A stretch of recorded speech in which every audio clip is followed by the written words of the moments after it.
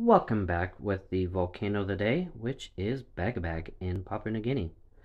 Papua New Guinea definitely has the better sounding, the better volcano names. You got Bagabag, you got Bam Bam, you got like a couple other, like Bam and there's Bam Bam and there's like, there's a lot of fun names here.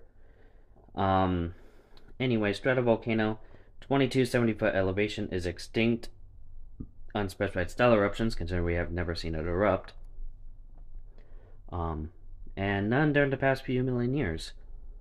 So, the 7 by 8 kilometer Bagabag Island is truncated by a 3 by 5 kilometer crater that is breached by the sea on the southeast side. A shallow ridge marks the submerged portion of the crater rim. And, off- and offshore reef rings, yeah, and an offshore reef rings the island.